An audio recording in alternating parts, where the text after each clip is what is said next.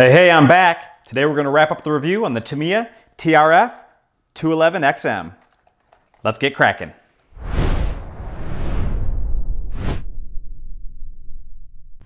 Okay, before we get started with the build section of the review, let me just show you the car. Let me pop the body off and show you exactly what's going on.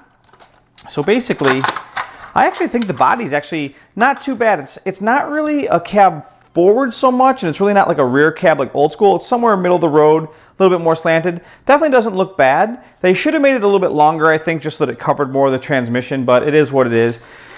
Now, I've already pulled the motor out of the car, but the car, we were actually running a SureSpeed 17.5 when we were running it in stock, and we ran a Trinity 7.5 when we ran it in mod. The SureSpeed was geared at like 3269 with an associated gear. I will say this, for some reason, it seemed like the pinion would rub on the gear cover when we ran it in stock, so we ran it with no gear cover.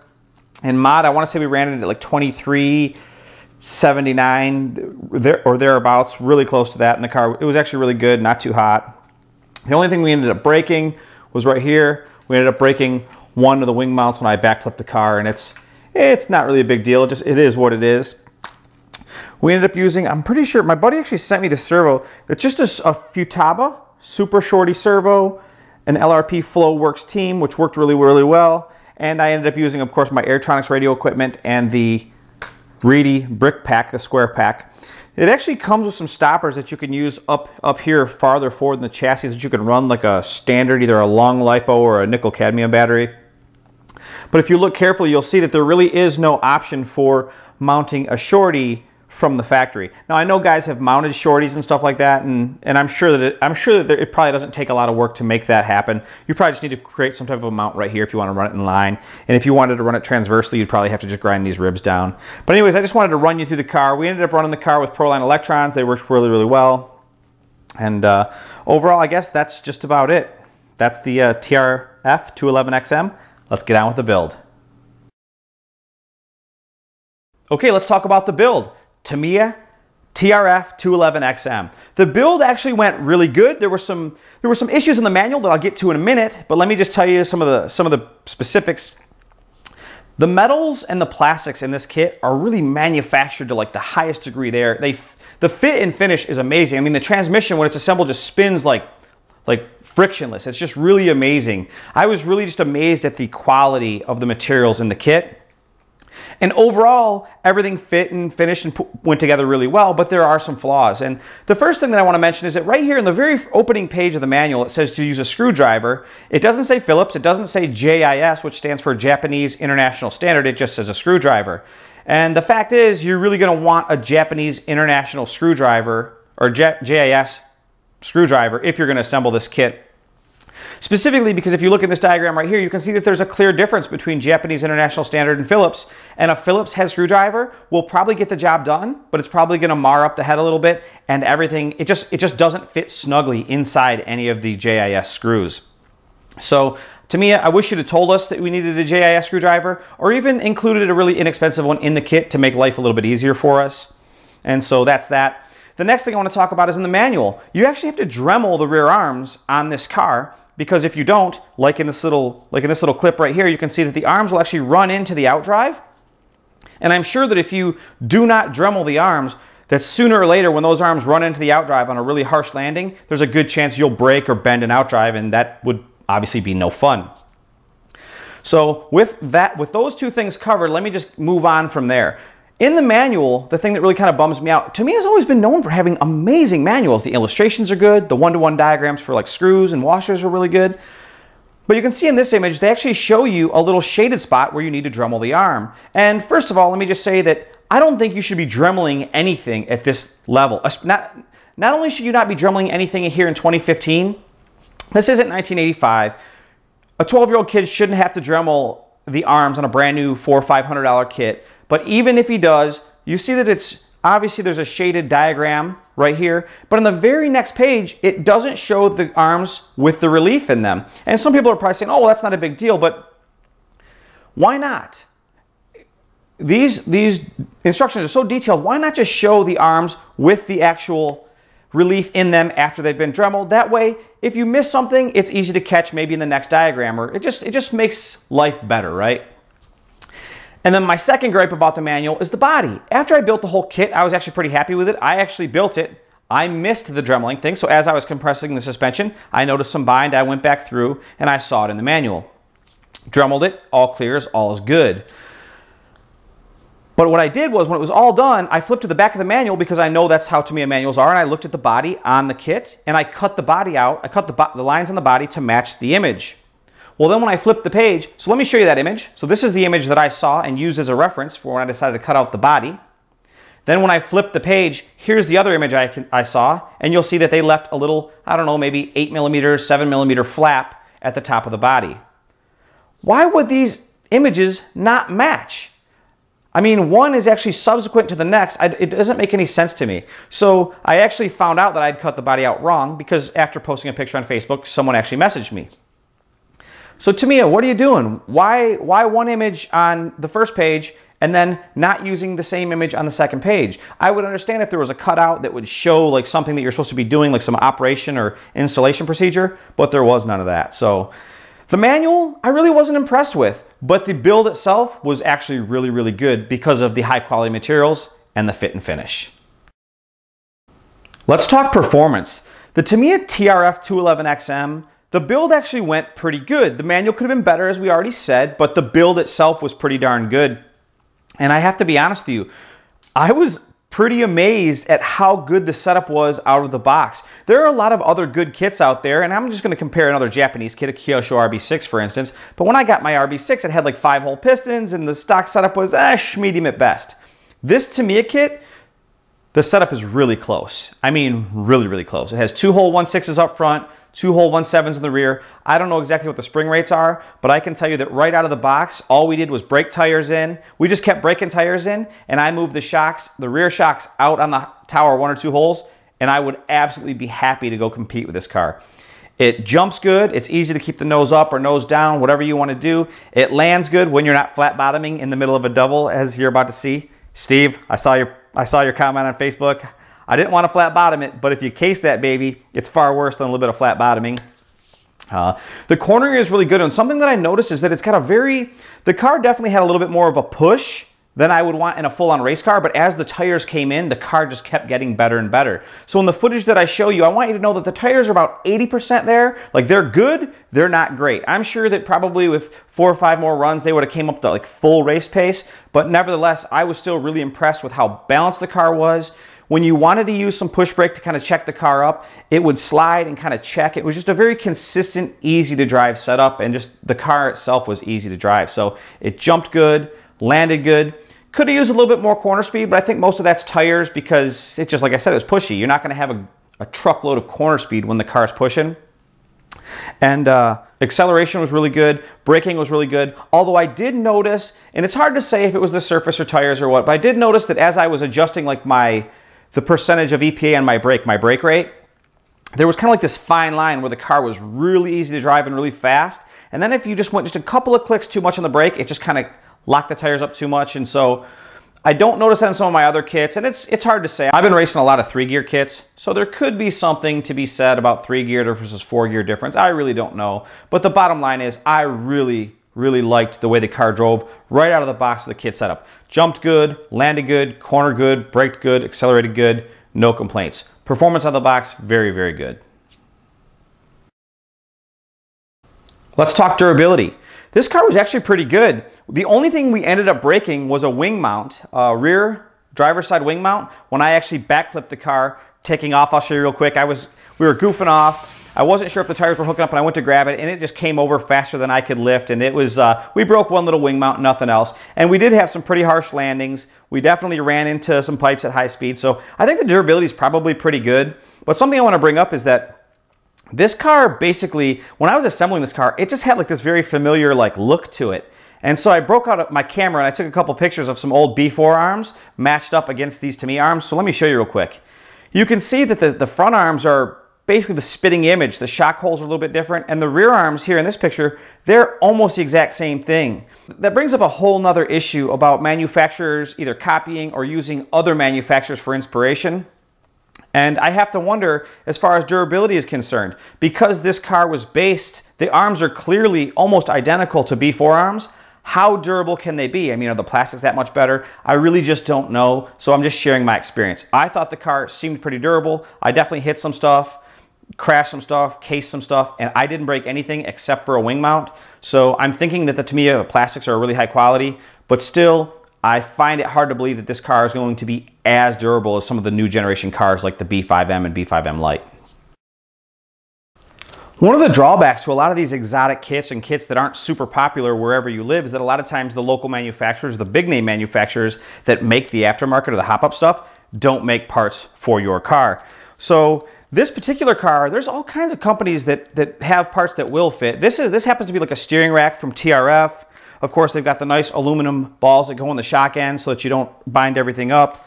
And then there's other parts like, like Exotek, like wing washers and thumb screws for the battery strap. So there are TR, me is actually making some parts for the car that, that are hop-ups. And then of course there are other products just that are designed for other cars or just many platforms in general that will fit. Not to mention stuff like this right here. This is actually a B5 steering block with a hex on it because this car obviously has pins in the rear axles and bearings in the front. We'll talk about that more around the conclusion or value. And so there's a lot of different things you can put on this car to hop it up and to make it better. And there's actually a dedicated forum over at RC Tech. I'll include a link down in the description where a lot of guys that are diehard Tamiya fans, they share their information. And I would encourage you to head over there, read up and talk to some of the guys that are running this car and find out exactly what they're doing to, you know, just hop it up, make it a little bit better. One more thing, I think there's a pretty good chance that uh, B4 or B5 arms will work on this kit. I haven't tried the B5 stuff, but I think there's a really good chance that B4 arms would be a direct replacement. So while Tamiya parts availability might not be awesome and the aftermarket isn't huge for this car, there are still some probably alternative options. I didn't try to put the B4 stuff on, but as you could see in the photo earlier, it looks like a almost like a direct direct fit. So all right, let's talk value. If you've seen any of my past videos, you know that I really feel like value is super important and that there's really kind of two kind of sides to that coin. One is that one is the value of the parts, the plastics and the metals that you actually get in the box. It's the actual value of the actual hard items. And then the second, the second side or the flip side is really parts availability, driver setups, race team, just kind of like the whole global experience of owning the car. Now, one of the things that really, in my opinion, really hurts the Tamiya is the fact that it has pins in the rear axles and uses bearings in the front wheels. Now that can be remedied relatively inexpensively, 25 or 30 bucks. But let me just give you an idea.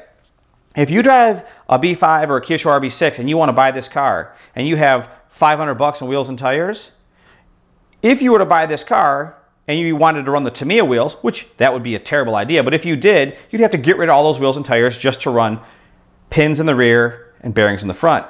What you would do is you would buy the car and you would either put B5 steering blocks on it or some type of a hex conversion. You, you can learn more about that at RC Tech.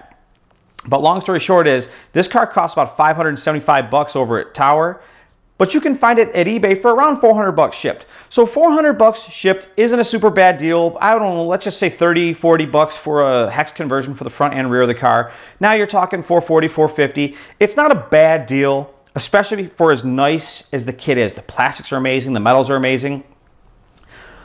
But with that said, I don't know that the while, while 450 bucks for the kit and the hex conversion isn't terribly bad, the other side is just completely lacking. They don't really have any serious presence in any hobby shop that I'm aware of, at least not here in the United States. There's no real factory team. I've got some buddies that actually drive for Tamiya, and they do have some, like a, a, small sponsorship network of guys that drive, but there's no real big factory presence.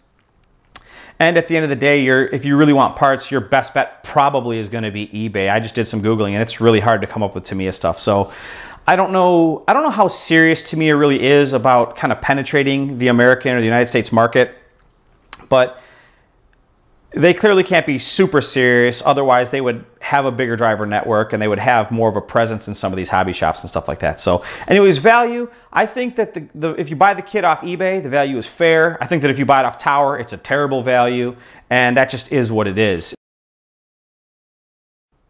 All right, let's talk conclusion.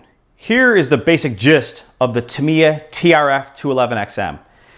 It's a beautifully crafted, beautifully made Japanese kit. It's got plastics and metals that are manufactured to the highest order. I mean, it's it's literally beautiful. The springs have this iridescent color. The shock bodies have this amazing coating. The plastics are molded flawlessly. It's got some it's got some flaws. The manual has some flaws. The fact that they're still using a Phillips head or a Japanese International Standard style screw anywhere on the kit to me is more or less unacceptable. It's not that it's the end of the world because if you've built any number of kits in the past, you probably have enough metric screws to just replace those Phillips head or Japanese International Standard screws with screws that you already have. But uh, the kit is amazing, but clearly Tamiya is just flat out out of touch. There's no reason in the year 2015, we're knocking on the door of 2016. There's no reason that this kit shouldn't have came with hexes in the box for the price that they're charging for this kit. If you actually look at their website, their MSRP is like $830. And of course, if you ever owned a Tamiya product, you know that that's always the case. They never sell for that much. You can get this kit for 575 bucks at Tower or 400 bucks shipped to your door if you go hunt for it on eBay.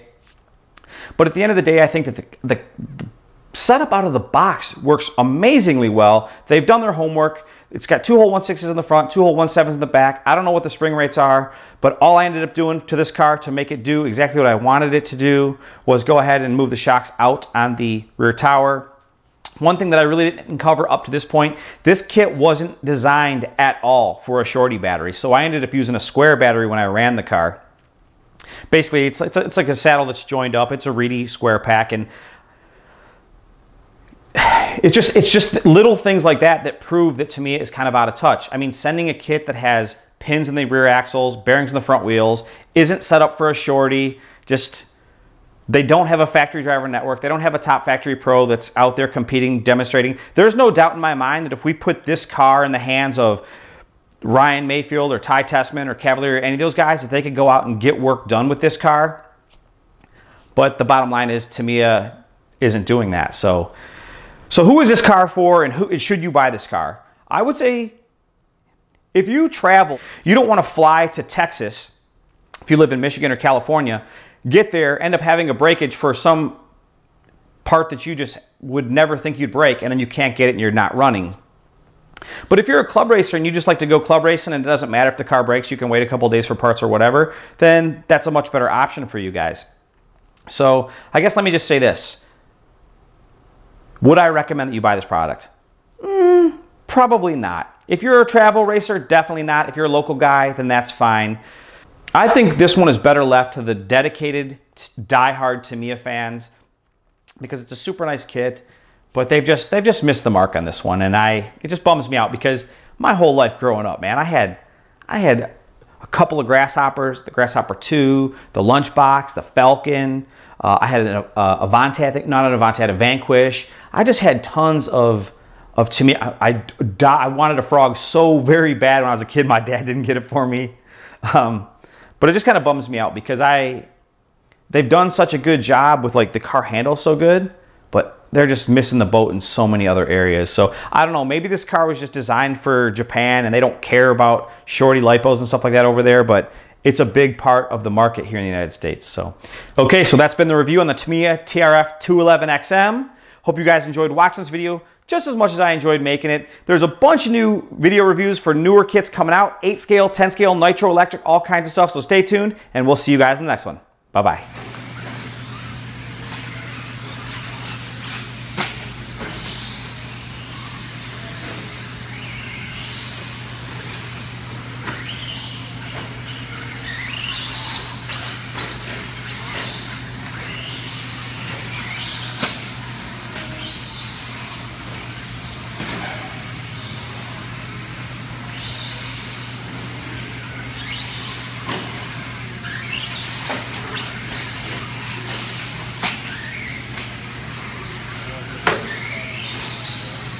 What?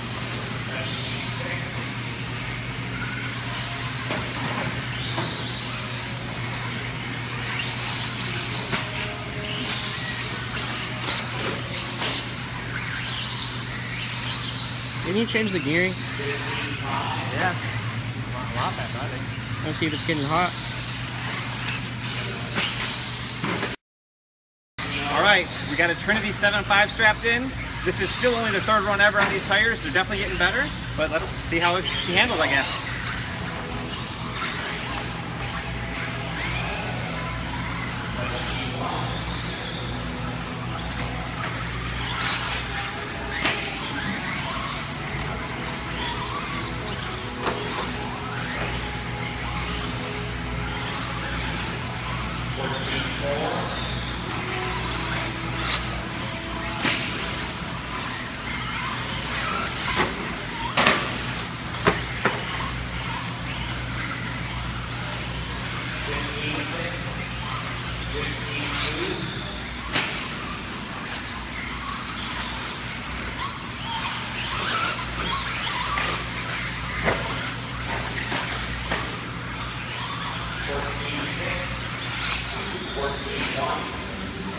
Want to say thanks again for watching my videos. I appreciate you guys watching. If you enjoyed this video, you'd be doing me a huge favor if you could either like, comment, or even better, subscribe. I post a lot of stuff on social media like Facebook, Instagram, Twitter, stuff like that. So if you want to catch up with me, I'll post this stuff up for you, and you can come on over, add me as a friend, follow me on Instagram, and you'll be able to see things that just don't make it to YouTube. Again, thanks for watching. We'll see you in the next one.